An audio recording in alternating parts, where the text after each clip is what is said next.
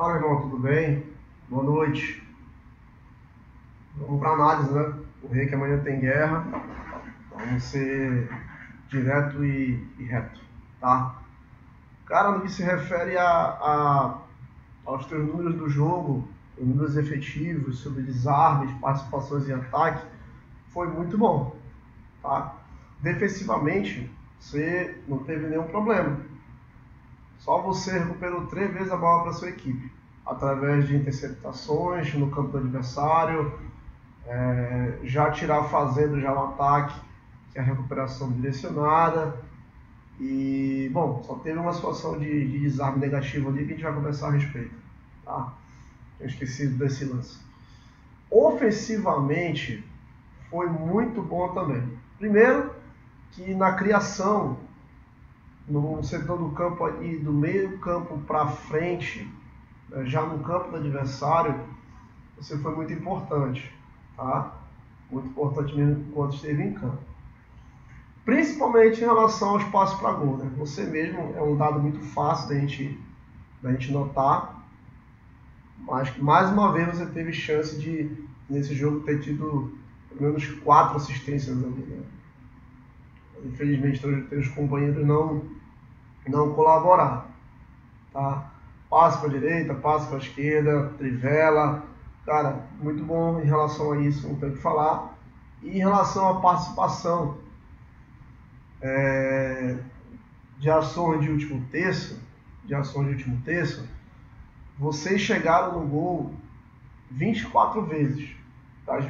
Chegaram no gol assim, né? Chegaram próximo do gol, que eu quero dizer, dentro da área, no fundo, chutando, fazendo gol, vocês chegaram 24 vezes.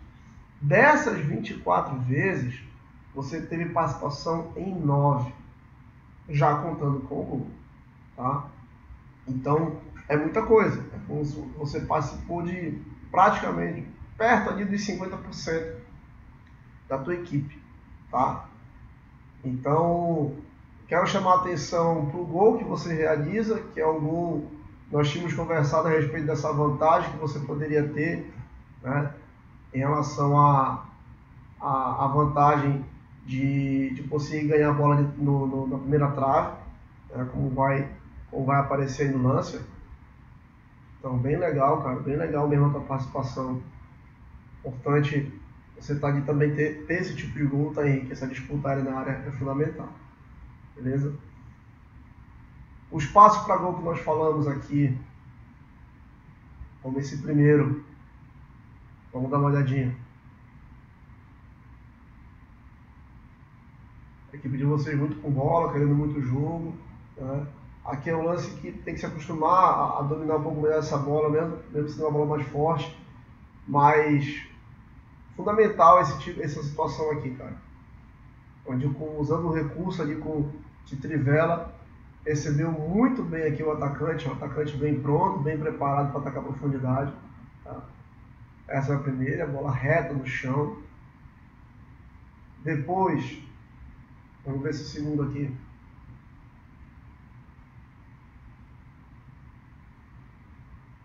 Dominando orientada já para frente, ameaçando, ameaçando achar o lado, né? ameaçando achar para a direita, o teu corpo tu engana que você vai dar o passe lá, mas na verdade você quer o outro lado. E aproveitando aí do salto maroto aqui desse zagueiro, ele salta em você, ó, salta em você e aí libera, libera espaço para o seu companheiro chegar, infelizmente impedido, né?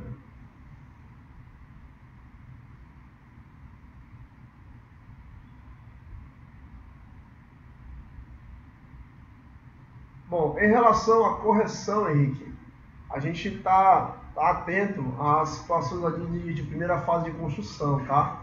Esse tipo ali, tipo essa jogada aqui, ó, onde você acertou bem. É, sua equipe construindo desde trás, é uma situação que já falou a respeito, você como oito, por vezes vai passar por esse tipo de situação, então tem que estar tá bem perfilado, sempre pronto para conseguir sair dessa pressão e a tua equipe dar sequência na jogada e você já reaparecer. E aí, para que isso dê certo, alguns, alguns apontamentos são importantes. O primeiro é saber fazer mais isso aqui. Se a pressão está vindo por aqui pela direita, pela, pela esquerda, no, no, pela sua esquerda, então você já vem pela direita, usar o braço, né? usar o braço para manter o adversário longe da bola e de preferência tá com essa bola no pé esquerdo, tá? Mas aí você consegue dar tempo de superar. Mas eu fico pensando no nível mais alto, tá bom? E aí vem correções em cima desse ponto, esse ponto que me chamou bastante atenção. Então, ó, esse primeiro ponto, ó, é, aqui é um ponto que você não fez, e aí é importante a gente abordar. Tá? Foram dois lances muito parecidos, com alguns pequenos detalhes, tá? De diferença, alguns detalhes de diferença. Ó. Nesse caso, você já empurra a bola para trás. E aí, nesse empurrar a bola para trás, você pode atrair um salto de pressão. Então, mantenha o que você fez no vídeo anterior dá um, empurra essa bola para o lado contrário da pressão, para você conseguir dar sequência, para que a sua equipe saia de baixo com a área dominada. E aí, novamente, ó. lá de novo.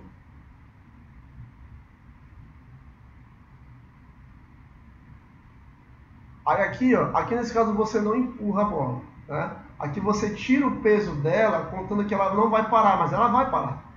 Então, qual é, qual é a sugestão que a gente dá aqui para você? Ó? Na hora que essa bola estiver passando, é, é, é, faz um jogo de perna onde você só, ao invés de atacá-la, você joga o pé para trás. Ó. Quando você joga o pé para trás, tu consegue tirar só o peso dela e ao mesmo tempo já fica de frente para o gol adversário. Quando você bota o pé aqui nela, você está tirando o próprio tempo e facilitando para que esse cara chegue. Aí, mas aliás, não aconteceu nada. Sim, como eu falei, né? Você não está preocupado com o nível Varense. Está preocupado no nível maior para que você consiga, consiga performar melhor ainda. Aí outro ponto é em relação, em relação ao ficar de costas. Você se colocando de costas para o adversário depois de estar de frente.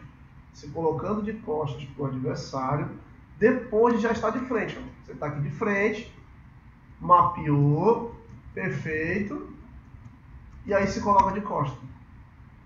Cuidado, cuidado com se colocar de costa, que você repete o lance. A mesma situação. Tá? Situação de criação né, do adversário. Você vai receber ali a pressão, ó, se coloca de costa de novo. Tá? Então são detalhes imperceptíveis para a maioria das pessoas, mas para a sua função é muito importante. Porque quando você fica de frente para a bola, você consegue ser mais rápido, você consegue ser mais objetivo. Né? Como nesse lance aqui. Ó. De novo, mesma situação, dando apoio curto e de frente já dá sequência no ataque. Perfeito. Tá? Então, mais situações dessas e menos dessa de ficar de costa. Beleza? Então, fica atento a quando você for dar o um tapa na bola estando de costas para o adversário, porque às vezes vai acontecer de você já estar de costas, né? você dá sempre o tapa para o lado contrário. Fica atento a nunca se colocar de costas para a pressão, tá? sempre de frente. Tá? E para finalizar, isso aqui foi o que nós vimos aqui no, no na última análise. Né? Para finalizar, esse detalhe aqui, ó, de novo. Ó. Aqui você já deixa a bola passar um pouquinho. E aí você percebe que tem um portão aqui, ó. Só que se você não for rápido, não dá mais um tapa logo, vai fechar. Aí tu vai ter que fazer alguma agenda aqui para conseguir sair dessa pressão e dessa segunda em seguida. Porque se tu errar, errar um pouquinho da força aqui desse tapa na bola, esse cara pega. Entendeu? Esse cara aqui pega. Como tu tem a perna comprida e esse cara, tá, e esse cara aqui também não chegou de verdade, você venceu. Tá? Mas não recomendamos esse tipo de situação de deixar a bola parar. Pensando que você dá, você fica, você que gira em torno da bola. E não, é a bola que tem que girar em torno de você. Então recebeu, já dá o tapa para frente com a perna esquerda para ser mais rápido ainda, para explorar logo esse espaço aqui. Beleza? Sim, eu ia falar do outro lance, na verdade, tá? foi o lance do arraste, cara. Foi muito legal. uma situação que nós falamos no, no, na última reunião, né? De saber usar ao seu favor o espaço na sua frente. Percebe que quando você já recebe aqui, ó, a bola não para, facilita até para a tua condução? Falamos agora desse lance, ó. O portão de novo aberto, com a, a bola tá em movimento, não dá tempo desse cara conseguir soltar pressão em você. Esse cara aqui ajudou também a bloquear. Esse cara saltou, já era, dividiu isso aqui e aqui tá livre. Tá bom? Então, cara, foi um jogo muito bom. Já falamos sobre a situação da expulsão. Te concentre nesses ajustes quando você estiver construindo pressão, estiver construindo de pressão, que o teu futebol vai evoluir. Tá bom? Grande abraço, Henrique. Valeu.